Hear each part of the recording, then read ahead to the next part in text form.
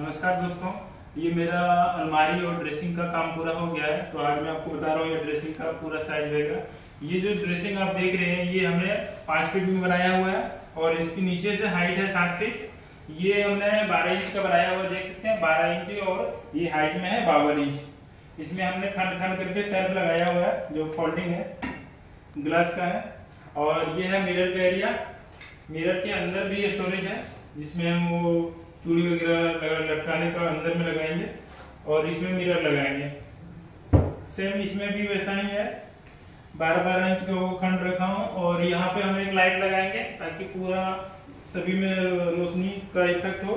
और नीचे वाले भाग में हमने एक ड्रोवर दिया है, एक पल्ला दिया है।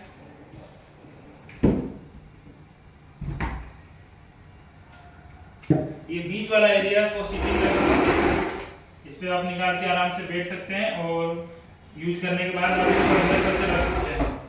सेम वैसा ऐसे एक ड्रोवर है, जो 6 इंच का ड्रोवर है और एक पल्ला है। इधर एक सिंगल वार्ड्रोप है, जिसमें हम ऊपर पट्टी लगाया हूँ और इसके अंदर इस तरह का खंड दिया हूँ। खंड खंड जो फोल्डिंग है सब ये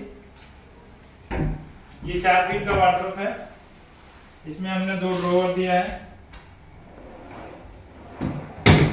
ये ड्रोवर छह इंच का है।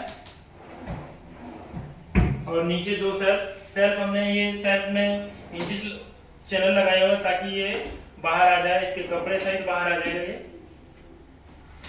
और ऊपर हैंगर लगाएँगे। इसमें हमने कुछ नहीं लगाया, इसमें हम एक पुराना टीने का अलमारी जो पहले से है, उसको रखेंगे।